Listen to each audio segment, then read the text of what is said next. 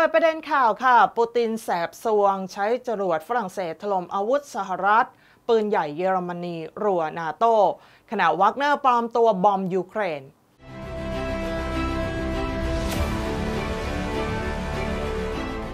จากกรณีที่มีรายงานถึงรัสเซียว่าได้มีการโอนอาวุธของสหรัฐอเมริกาที่อยู่ในอัฟกานิสถาน โดยนำเอามาใช้ต่อสู้กับกองกำลังผสมนาโตในยูเครน ซึ่งเรื่องนี้มีข้อเท็จจริงอย่างไร เชื่อว่าทั้งโลกกำลังเฝ้าติดตามอย่างใกล้ชิด โดยล่าสุด 26 มกราคม 66 b l o c k d i t World Update โพสต์ถึงกรณีดังกล่าวไว้อย่างน่าพิจารณาถึงข้อเท็จจริง ซึ่งมีข้อมูลที่สำคัญระบุว่า ปี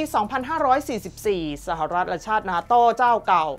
นำทัพรุมบุกยึดอัฟกานิสถานและขนอาวุธจำนวนมากไปปกครอง และทำสงครามกับนักรบท้องถิ่นตอริบัน และหลบซ่อนตามเทือกเขานานถึง 20 ปี ปี 2564 กองทัพสหรัฐและนาโต้พ่ายแพ้อย่างยับเยิน ทหารตะวันตกเรือนแสนหอบเสื่อผืนหมอนใบ อพยพหนีทางเครื่องบินขนส่งออกจากอัฟกานิสถานใช้เวลาแรมเดือน กองทัพสหรัฐขนอาวุธจำนวนมากไปด้วยไม่หมด ต้องทิ้งไว้จำนวนมาก เช่น เครื่องบิน เฮลิคอปเตอร์ รถบรรทุก ระบบต่อต้านอากาศยาน ขีปนาวุธ จรวด ปืนใหญ่ รถถัง ยานเกราะ ปืนไรเฟิล ระเบิด ยุทธโธปกรณ์ทางทหารเหล่านี้มีหลักล้านชิ้น มีมูลค่าสูงถึง 7,120 ล้านดอลลาร์หรือ 233,892 ล้านบาท ปัจจุบันอาวุธเหล่านั้นจำนวนมากถูกใช้ในตำรวจและทหารกองทัพอัฟกานิสถาน แต่ยังมีอาวุธระดับสูงที่กองทัพอัฟกานิสถานซ่อมแซมเองไม่ได้ ต้องใช้วิศวกรทางทหารในการถอดประกอบ หรือทำวิศวกรรมย้อนกลับเปลี่ยนแปลงอะไรล่าสุดมีรายงานว่าประธานาธิบดีวลาดิมีร์ปูตินผู้นำรัสเซีย ย้อนเกร็ดแสบสันอีกแล้ว โดยเจรจากับรัฐบาลตอริบาน อัฟกานิสถาน เพื่อขอโอนอาวุธยุโทโธปกรณ์ทางทหารของสหรัฐและนาโต ที่ถูกทิ้งไว้ เช่น รถฮัมวี22,174 คัน เฮลิคอปเตอร์แบล็กฮอค33 ลำ เครื่องบินรบซูเปอร์ทูคาโน23 ลำ รถบรรทุก MaxxPro ประมาณ 115 คัน รถหุ้มเกราะ M1117 ราว 634 คัน ปืนกล 549,118 กระบอก แว่นตามองกลางคืน 16,035 คู่ วิทยุ 162,043 คัน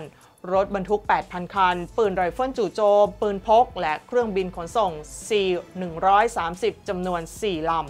โดยคาดว่ารัสเซียจะแลกเปลี่ยนให้เป็นอาหารข้าวสาลี น้ำมันก๊าซสิ่งของจำเป็นสำหรับชาวอัฟกัน